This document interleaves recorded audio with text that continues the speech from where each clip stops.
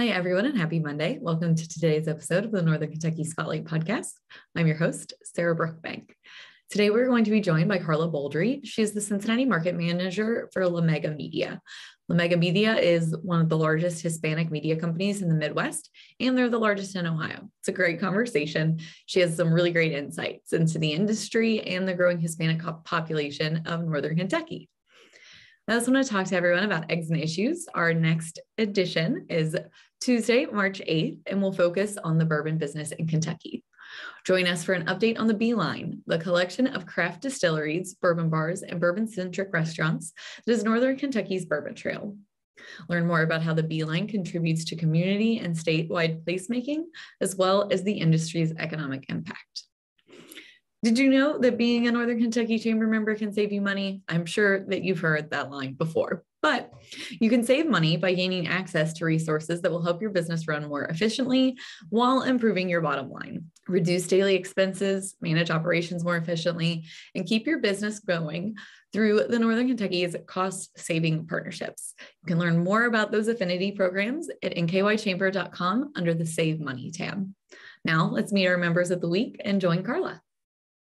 CVG Airport is the lowest fare airport in the tri state region with 54 nonstop flights and direct international service to seven destinations, including Paris, France, and now home to both DHL's and Amazon's global cargo hubs. The airport is furthering its position as leader in aviation and is deeply committed to being an economic driver for the community. You can learn more and start your next adventure at CVGAirport.com.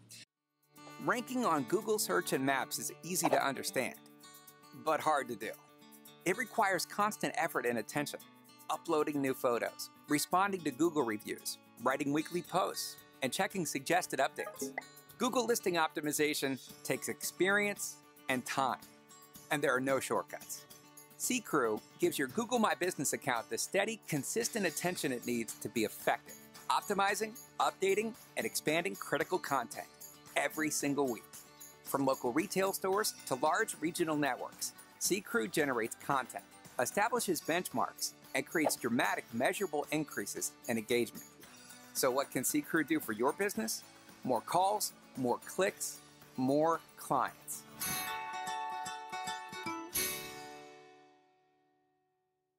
Congratulations to our members of the week. You can learn more about these businesses by following the Northern Kentucky Chamber on social media where we will highlight one of these businesses each day. Now, let's meet our members of the week. Josh McIntosh is a criminal defense attorney who specializes in all areas of criminal and DUI law. CKREU Consulting is a digital marketing agency that brings the fun and excitement back to digital marketing. Paragon, established in 1975, is a full service agency that specializes primarily in radio and TV. Executive Transportation Services is the premier ground transportation company in the greater Cincinnati and northern Kentucky area. Kristen Zavo is a career coach and the best selling author of Job Joy, your guide to success, meaning, and happiness in your career. Hi, everyone, and welcome to today's episode of the Northern Kentucky Spotlight Podcast. I'm here with Karla Boldery. She is the Cincinnati Market Manager for La Mega Media. Karla, thank you for joining us today. Hi, Sarah, and hi, everybody that is joining us today for this podcast. I'm really excited to be here. Thank you. Yes, of course. It's awesome um, to have you so we can talk about La Mega Media. You guys are a really cool company. So tell me a bit about your organization. Absolutely, Sarah. La Mega Media is the largest Hispanic media company in the state of Ohio. Uh, we actually have been uh, in the region for over 15 years. Uh, it used to be called TSJ Media uh, before, and it actually uh, went through an acquisition process within three years ago, which it was actually the time that I joined the team. Uh, their top sales executive, Claudia De Leon, uh, had the opportunity to acquire the company. Uh, so she did, and it actually became a Hispanic owned business. Uh, we are uh, we have radio stations in Cleveland, Columbus, Cincinnati. We have a print publication that goes through those markets and also Pittsburgh. Um, and uh, we also reach the, the Northern Kentucky area. Um, we we definitely strive to be the connection uh, with the Hispanic community through our all, all our products and services. Yeah, and that's a really unique organization. Like you said, you guys are the biggest one in Ohio. So you guys have a huge reach. You touch a lot of lives.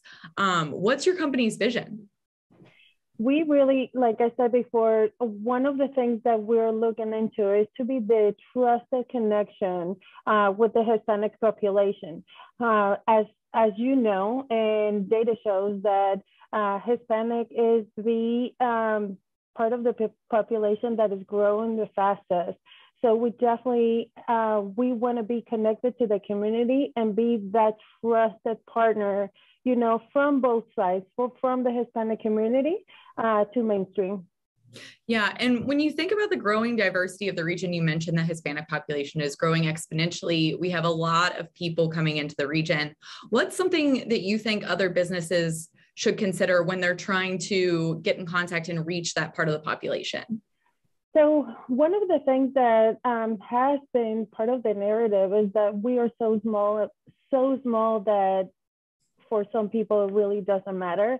Uh, I do think that right now is the right time to start thinking about how to reach uh, diverse populations, uh, especially with the growing Hispanic community.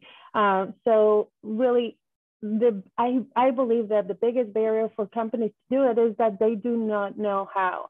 And that's how companies like us that not only uh, we look like it, we sound like it, and we are part of that community, are able to really help out companies that are trying to connect with the Hispanic community.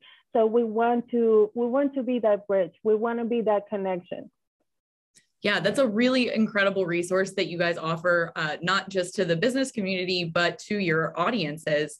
You know, you, like I mentioned, you guys reach so many people. How can businesses in Northern Kentucky uh, get in contact with your company and how can they reach out to you guys and get involved? Absolutely. They can reach us out through our website, lamegamedia.com. I'm, I'm already starting to speak Spanish. How about that?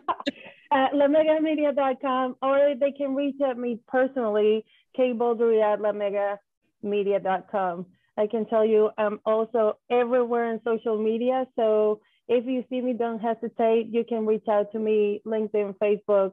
I am always available uh, to have a conversation, uh, to try to give you, you know, ideas and uh, trying to become a solution for you to, to get connected with the community. Yeah, and you uh, you mentioned you're all over on social media, but you're also extremely involved in the business community across Greater Cincinnati. Uh, talk about your passion for that. You have a history of helping other businesses in the community. Absolutely, Sarah, and that that that gets me all excited. It's actually the fact how I got connected to La Mega Media over ten years ago. I have been a, a business coach for over 13 years uh, with organizations like the Small Business Development Centers at Miami University Regionals, uh, the Urban League, and other organizations that have been really connected to try to develop business growth. So I always say, amongst all the things that I do, there's always a common denominator for me, and that is to grow small businesses, specifically minority owned businesses women owned businesses and Hispanic owned businesses, and probably in that order. So, definitely anything that touches those areas is something that I want to be connected and that I want to help out in any way I can. And definitely, you know, used to be that I did all my work on the other side of the river. And I have been a Northern Kentucky resident since I came to the United States so definitely part of my strategy is to bring that knowledge, to bring what I know to this side of the river and continue growing the um, positive impact with companies, you know, within our region. So definitely when when um, you know kind of the opportunity came together, not only I was going to continue to help small businesses, but now I can do it in a capacity that I'm really connected with those that are within my community. So, uh, needless to say, I work a lot, but I have a lot of fun doing so. Yeah, you are so involved. One of the coolest things um, that I think that you do, um, the Latina Entrepreneur Academy, that is such an incredible program that you founded. Can you tell us a bit about that? Absolutely. So when um, this actually came about in 2017 uh, through a small grant program uh, by LULAC, the League of United Latin American Citizens, which at the time uh, was part of my community outreach uh, that I was doing. So uh, they started this program, and actually, Cincinnati, the Cincinnati region has been the only region that has made it become a standalone program. So we just finished our fifth year. Um, this is a summer boot camp where we get uh, Latinas to learn how to start, run, and grow their own business. Uh, it is my most ultimate passion. I love every second of it. Um, not only from the standpoint of people actually starting their own business, but um, what I did learn, you know, now after five years is the economic empowerment. So many women are out there just trying to make it happen. And for many of them, entrepreneurship is the answer. So definitely once you are getting connected to them, you're giving them, you know, all the all the knowledge and all the information that they need to, and especially the little push in the back to say you can do it, it makes a whole lot of difference. So, you know, from over 100 um, Latinas that have come through the program, there's over 45 businesses that are up and running. And, and, you know, not only we want to be that educational program for them, but we're building a network connection for them so that they can thrive within their own business and do business with each other and grow with, within the community. Yeah, that's incredible. And you said you've been doing it for five years since 2017 what have you seen in that community uh, in terms of growth? Like how has that been? How has it been impactful for you and how has it been impactful for the region? So definitely i see a lot of uh, determination a lot of change probably uh, as people start as the population grows as you see more and more small businesses pop up um, everywhere, uh, people definitely uh, stop thinking that maybe uh, starting a business is not for them, right? Uh, they're starting to feel inspired by others, and therefore you start seeing more people, um, you know, taking charge and and, and getting started. Uh, definitely, uh, you know, it's it's it's great for me. I will tell you, I've been in the area for 24 years. Uh, when I got here, I thought I was the only Hispanic person like within an 80 mile radius. And today, I, I cannot go anywhere where I cannot hear somebody that's actually speaking Spanish. So to me, it's like really, really exciting. Um, you know, I love this area. I love Northern Kentucky. Uh, I made it my home. I've been here for 25 years. I have family here. And, and definitely now being this growth within the Hispanic community uh, helps my sense of belonging of, of this place and making it a greater place with the work that I do. Yeah, that's incredible. And then when you think about the growth of the community that you're in and the business community, which you've also seen growth in and been very involved in, what are ways and I'm trying to think of the best way to phrase this question. Um, how are those connected? How can businesses uh, really like embrace that? How can they find those connections uh, just naturally? Maybe not through businesses, maybe through getting involved. How can they kind of, you know, access that? I see that as a great challenge, and that's a great question because uh, you know the way the way uh, in general Hispanic businesses do. And we see a lot of maybe professional services, retail, food and accommodation, right? The way they do business is very different how uh, regular mainstream businesses do. Uh, I cannot tell you for the 13 years that I've been in this position, uh, how many times I have tried to convince many of these businesses to attend networking meetings. It does not work.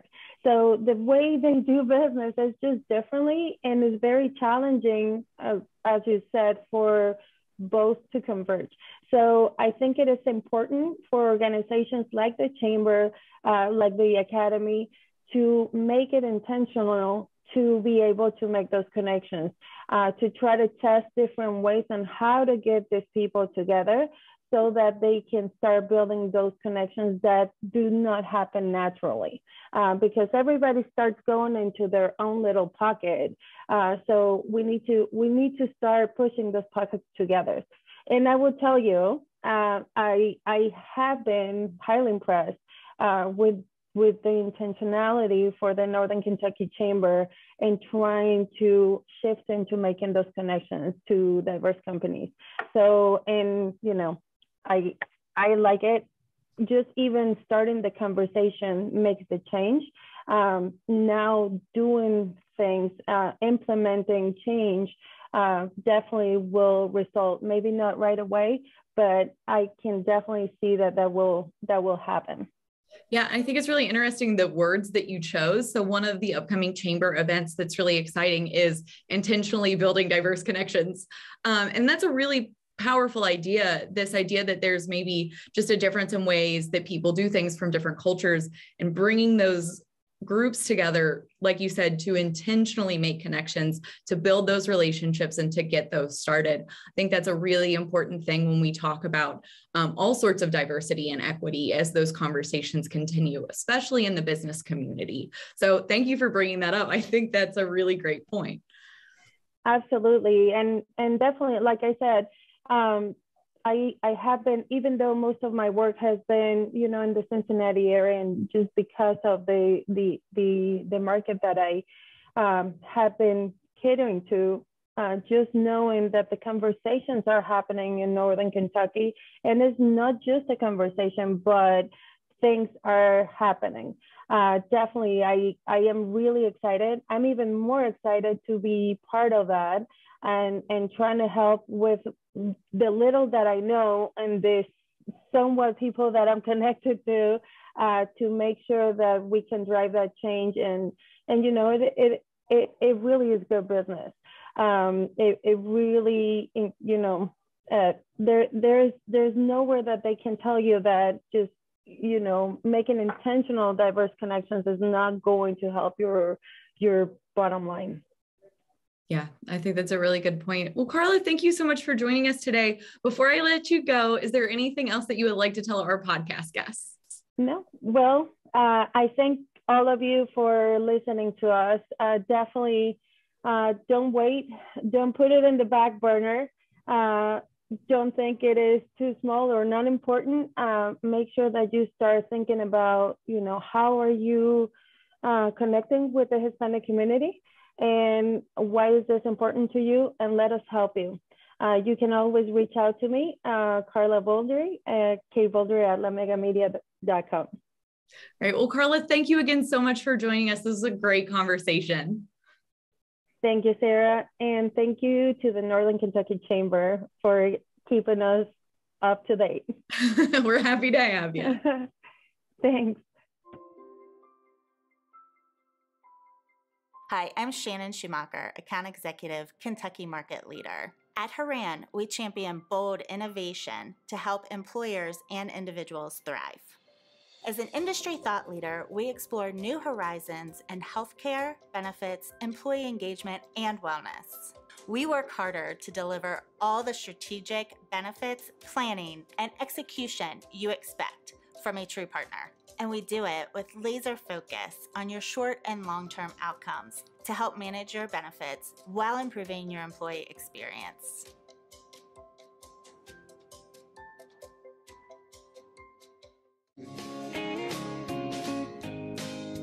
So Heartland is celebrating its 110th anniversary this year. Recently, we partnered with the Kinkle family and the Fisher family in northern Kentucky, Boone, Kenton, and Campbell counties.